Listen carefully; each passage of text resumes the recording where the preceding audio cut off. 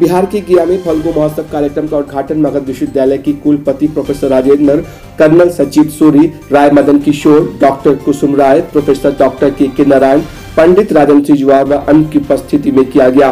सभी अतिथियों को सुश्रिया कला के पदाधिकारियों ने अंग वस्त्र व भगवान विष्णु के चरण चिन्ह देकर स्वागत व सम्मानित किया। उसके पश्चात मंच पर मालिनी अवस्थी व अन्य कलाकारों को भी अंग वस्त्र व प्रतीक चिन्ह भेंट किया गया। इस मंच पर ठुमरी गायन के कार्यक्रम की शुरुआत की गई। उसके बाद, एक के बाद एक राशिक लोगों ने गीत गाकर लोगों को घंटे चुमाते रहे। साथ ही तबला पर संगत कलाकार पंडित राम कुमार मिश्र ने जोरदार तबले पर थाप देते रहे। साथ ही बनारस घराने की प्रचलित व अप्रचलित बोलों को भी बाखूबी से बजाया, जिस पर खूब तालियाँ दर्शकों ने बजाकर कलाकारों को उत्साहित करते रहे।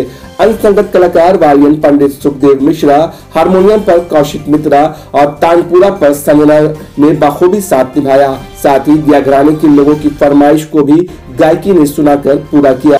वहीं फल्गु महोत्सव में मालिनी अवस्थी ने मीडिया को बताया कि देश के सभी बड़ी गुंजनों व कलाकारों के तीर्थ स्थल रहा है, गया।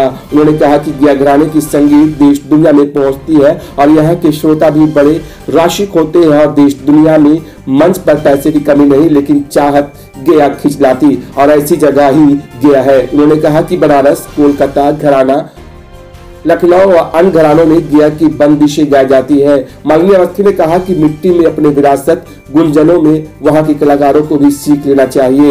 उन्होंने कहा कि सुरसैला कला संस्था गया जी का फल्गु महोत्सव में देश के तमाम कलाकारों को भी आना चाहिए। अभी कलाकारों का तीर्थ रह गया, बनारस की तरह, कलकत्ता की तरह। और बड़े गुड़ीजनों का यहाँ पर ठिकाना रहा है तो इसलिए श्रोता भी बड़े रसिक हैं। और मुझे लगता है पूरे हिंदुस्तान क्या दुनिया भर में कहीं भी जाएँ कलाकार तो मंच की कमी नहीं, न शायद पैसे की कमी है। लेकिन चाहक और विद्वान श्रोताओं के सामने जो कलाकार उसके मन की एक इच्छा होती है कि उनके सामने सुनाए। इसलिए गया आकर के सुनाना और दिल जीतना, ये एक हर कलाकार की साथ रहती है। तो आज मुझे बहुत बहुत अच्छा लगा। मैंने अपने गुरु से भी जो गया के बड़े विद्वान रामू जी, उनके बारे में सुन रखा था, उनकी रचना को भी आज मैंने सुनाया।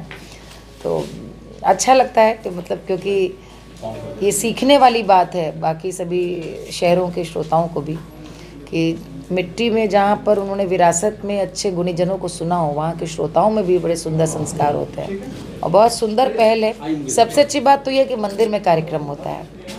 और बिना किसी सरकारी उसके अपने आप लोग करते हैं। ऐसे आयोजनों में तो मुझे लगता है कलाकारों को भी आगे बढ़ करके सहयोग करना चाहिए। और बहुत बहुत बहुत सुंदर पहल है।